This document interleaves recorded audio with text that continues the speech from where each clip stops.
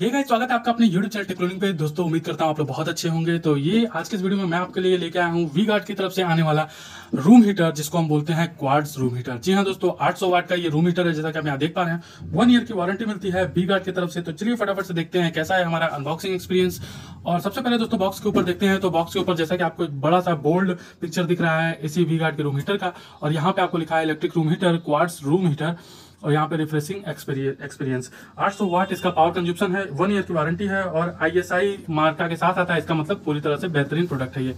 अब दोस्तों मैं आपको दिखाता हूँ, दूसरी साइड में क्या लिखा है तो यहाँ पे आप गौर करेंगे दोस्तों।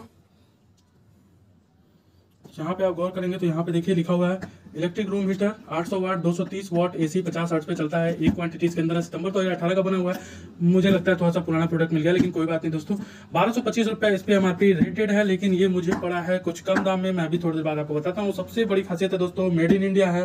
जैसा कि हम चाइनीज़ आइटम्स का जो है कि विरोध कर रहे हैं तो यहाँ मेड इन इंडिया काफ़ी बेहतर जो है प्रोडक्ट बन के आता है। और यहाँ पे आपको इसका बारकोड वगैरह मिलेगा। आप स्कैन करके इस प्रोडक्ट की पूरी जानकारी ऑनलाइन ले सकते हो। दूसरी साइड में अगर बात करें तो आपको यहाँ पे कुछ भी देखने को, जो चीज़ें पीछे देखने को मिलती है सेम वही चीज़ें हैं तो इस पर क्या बताना है? और दूसरे साइड में अगर देखा जाए तो यहाँ पे आपको एक इमेज मिल जाता है वीगार्ड का।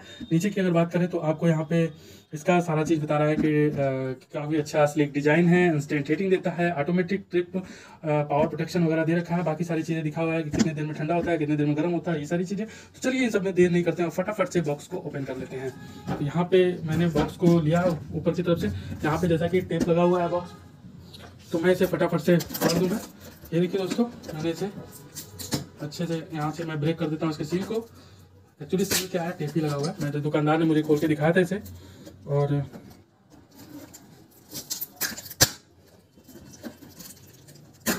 तो ये देखिए दोस्तों फाइनली मैंने इसे ओपन कर दिया है। ओपन क्या कर दिया इसे फाड़ी दिया है।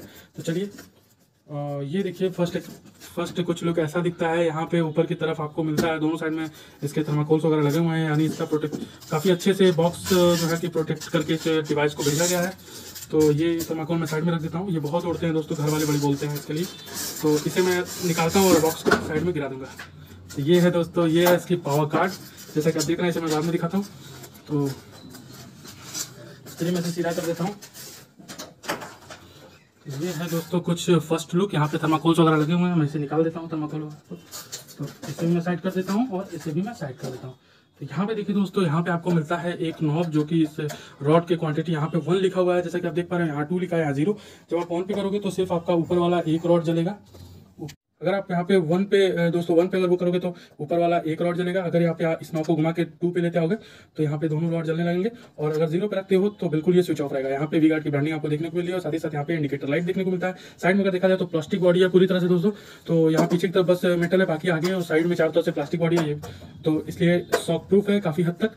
और पीछे से यहाँ पे आपको एक होल्डर मिल जाता है पीछे की साइड में एक उठाने के लिए होल्डर मिल जाता है, ये भी प्लास्टिक का इसलिए डरने की कोई बात नहीं है। नीचे की तरफ़ आपको इसका डायग्राम वगैरह मिल जाता है, अगर जब सर्किट वगैरह जब मैकेनिक से ठीक करता है तो उसके लिए काफ़ी आसानी होती है। यहाँ पे आपको वाट कंजप्शन वगैरह सारी चीज़ें लिखी हुई है। दोस्तों, मैं अगला वीडियो लेके लेके आने वाला हूँ कि ये आठ सौ वाट का जो इलेक्ट्रिक मीटर है, आप कितने देर यूज़ करते हो तो एक वन मंथ में कितनी बिजली कंज्यूम करता है तो ज़रूर उस वीडियो को देखिएगा। उसके लिए आपको चैनल को सब्सक्राइब करना होगा वीडियो को लाइक करना होगा और बने रहना होगा हमारे साथ। तो ऊपर की तरफ़ तो कुछ नहीं दिया हुआ है दोस्तों, नीचे की तरफ़ यहाँ पे हाँ ये बहुत ही ज़रूरी चीज़ है दोस्तों। यहाँ पे एक स्विच दिया हुआ है। ये स्विच जो है कि आप जब भी इसे नीचे की तरफ़ ऐसे करोगे।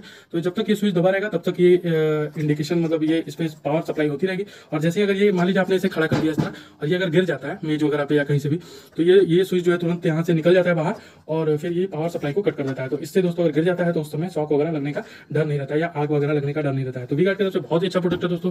तो कैसा लगा ये रिव्यू वीडियो आपको प्लीज़ कमेंट करके बताइएगा, और आपको कैसा लगा ये वी गार्ड की वाला मेड इन इंडिया प्रोडक्ट अगर अच्छा लगा तो प्लीज़ लाइक करिएगा करिएगा, अपने दोस्तों के साथ सब्सक्राइब कर दीजिएगा हमारे चैनल को। मिलते हैं फिर अगली वीडियो में, तब तक के लिए गुड बाय